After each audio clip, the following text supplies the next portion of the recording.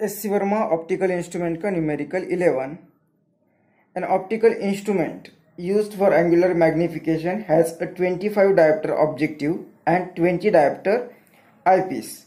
The tube length is 25 centimeter. When the eye is least trained, तो ए और B part करना है तो ए पार्ट में कहा कि वेदर इट इज़ माइक्रोस्कोप और टेलीस्कोप और बी पार्ट में what is the angular magnification produced तो इलेवेंथ नंबर का न्यूमेरिकल सिक्स न्यूमेरिकल से टेंथ न्यूमेरिकल हमने कंपाउंड माइक्रोस्कोप पर देखे थे, उस कॉन्सेप्ट पर देखे थे। अभी इलेवेंथ नंबर का जो न्यूमेरिकल होगा, वो कंपाउंड माइक्रोस्कोप पे है या टेलीस्कोप पे है, पता नहीं। उन्होंने हमें कहा कि आप ही बताओ कि वो कौन सा कंपाउंड माइक्रोस्कोप होगा या टेलीस्कोप होगा। और डेटा क्या दिया है कि यहाँ पे दो, एक ऑब्जेक्टिव होगी, एक आई लेंस होगी। ऑब्जेक्टिव का पावर दिया हुआ है ट्वेंटी फाइव डायप्टर और आई लेंस की पावर दी है ट्वेंटी डायप्टर और उनके बीच में सेपरेशन ट्वेंटी फाइव सेंटीमीटर दिया हुआ है।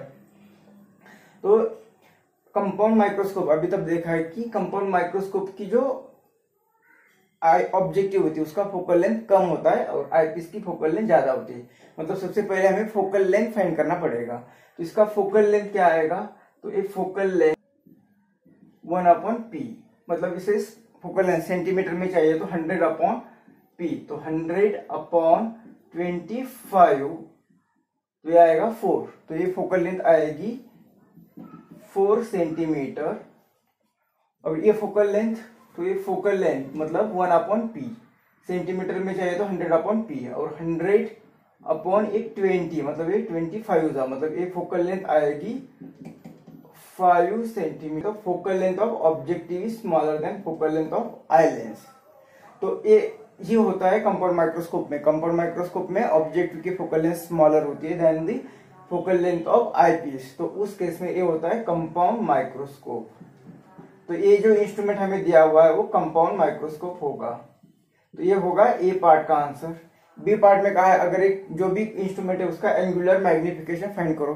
तो अब हमें पता चला है कि एक कंपाउंड माइक्रोस्कोप है।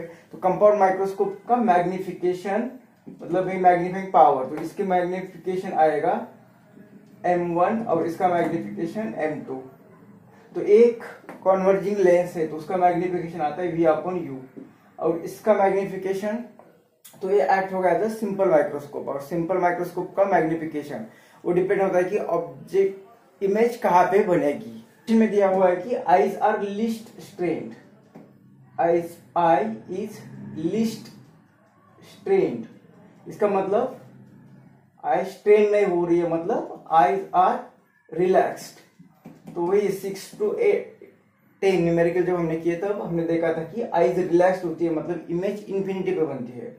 इसका मतलब इमेज जो फाइनल बनेगी, वो इन्फिनिटी पे बन रही है। तब आईज रिलैक्स होते हैं मतलब लिस्ट टेंड होते हैं।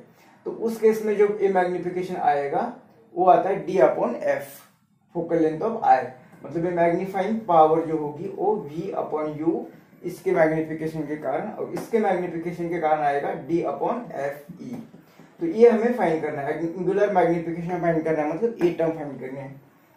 तो फोकल लेंथ वगैरह पता है हमें तो वी अपॉन यू मतलब ऑब्जेक्टिव के कारण वी अपॉन यू फाइंड करना है। अब वी और यू कैसे फाइंड करेंगे, इसकी फोकल लेंथ पता है। फाइनल इमेज कहाँ पे मिलने वाली वो पता है। तो ये लेंथ अब इसका वर्किंग क्या होता है? यहाँ पे जो कोई ऑब्जेक्ट होगा, इसकी इमेज कहीं भी मिलेगी, वो इमेज एक्ट होगी as an object for this lens इसे हम इस तरह से एडजस्ट करेंगे कि हमें इन्वर्टेड इमेज मिलने वाली है और मैग्नीफाइड इमेज मिलने वाली है। तो वो इमेज कहाँ पे मिल रही? तो इस क्वेश्चन में कहा है कि वो इन्फिनिटी पे मिलने वाली है मतलब इसके कारण। मतलब फॉर आई लेंस अगर हम देखते हैं तो इमेज इन्फिनिटी पर मिलने वाली है। मतलब उसके लिए ऑब्जेक्ट इसके फोकस पे चाहिए। तो ये ऑब्जेक्ट जो होगा, इसके लिए ऑब्जेक्ट मतलब इसके लिए जो इमेज होगी, वो उसके फोकस पे होगा कि जो है ऑब्जेक्ट फॉर दिस लेंस और ये टोटल लेंथ दी है ट्वेंटी फाइव ये टोटल लेंथ ट्वेंटी फाइव होगी। तो ये एल डिस्टेंस इसमें से ए माइनस करेंगे हम तो ये रहेगा वी इसके यहाँ से इसका डिस्टेंस तो इसके लिए ये इमेज है मतलब वी रहेगा ऑब्जेक्टिव के कारण वी तो अब इस यहाँ से हमें वी मिल जाएगा मतलब अगर हम ऑब्जेक्टिव लेंस के बारे में देखते हैं तो उसके लिए हमें वी नॉट कितना मिलेगा? तो it total length minus focal length तो उसके लिए पहले उसका ऑब्जेक्टिव लेंस तो वी नॉट कितना मिलेगा? एल माइनस एफ़ ई और एल कितना है? एल दिया हुआ है ट्वेंटी फाइव और फोकल लेंथ ये है फाइव मतलब वी नॉट आएगा ट्वेंटी सेंटीमीटर अगर वी नॉट ट्वेंटी सेंटीमीटर है, फोकल लेंथ हमें पता है तो ऑब्जेक्ट कहाँ पे ये डिपेंड करेंगे? तो फॉर ऑब्जेक्टिव लेंस इक्वेशन क्या आएगा? One upon F is equal to one upon V minus one upon U ये ऑब्जेक्टिव के लिए।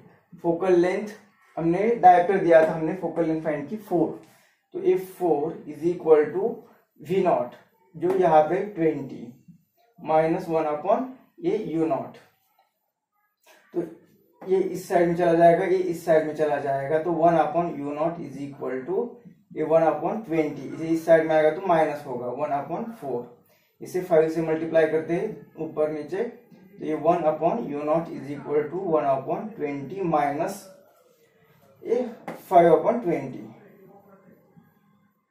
मतलब one minus four minus four upon twenty तो यू नॉट तो वैसे हमें यू नॉट नहीं चाहिए इस इक्वेशन के लिए। इस इक्वेशन के लिए वन अपॉन यू नॉट ही चाहिए। तो फ्रॉम इस इक्वेशन को वन कहते तो फ्रॉम वन मैग्नीफाइंग पावर और एंगुलर मैग्निफिकेशन ये कितना आएगा? तो v नॉट मतलब twenty upon one upon U nought मतलब ये। तो ये four upon twenty minus sign बता रहा है कि वो लेंस के अपोजिट साइड में ऑब्जेक्ट होगा। और d upon F E D कितना है? ट्वेंटी फाइव और F E focal length eyepiece का आई लेंस का, वो है फाइव तो ये ट्वेंटी किधर चला गया और ये फाइव मतलब मैग्निफिकेशन कितना आ रहा है? ट्वेंटी।